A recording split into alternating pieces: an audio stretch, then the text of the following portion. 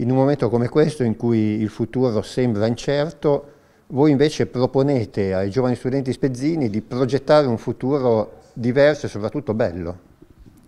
Sì, noi abbiamo pensato di eh, questa iniziativa, che è un'iniziativa che eh, consiste in un bando di concorso eh, che premia i primi tre classificati delle classi terze e quarte delle superiori relativamente a un tema importante e bello come il, la, la, nuova idea di città che, può, che possono avere questi ragazzi in una prospettiva di post-Covid eh, tenendo presente alcuni concetti di fondo importanti che sono l'inclusione sociale, la, be la, la, bellezza della città, l'incremento demografico, eh, il, gli spazi e l'idea di città in post-Covid e, eh, insomma sono argomenti che in qualche modo oggi sono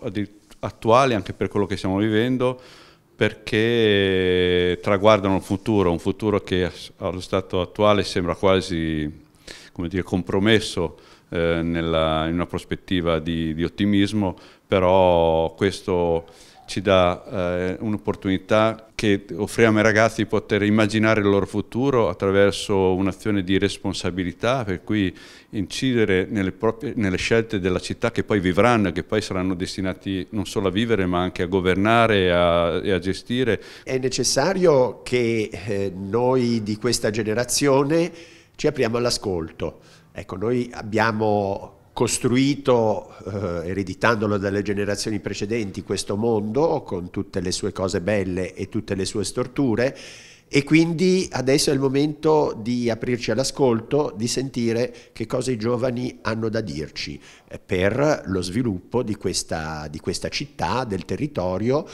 E io sono sicuro che ci sarà una risposta eh, di partecipazione ampia e propositiva, eh, perché sento che i ragazzi hanno delle idee e hanno bisogno di esprimerle sono capaci appunto anche di analisi eh, attente, analisi magari a volte anche spietate, franche, sincere, che possono mettere in crisi noi adulti,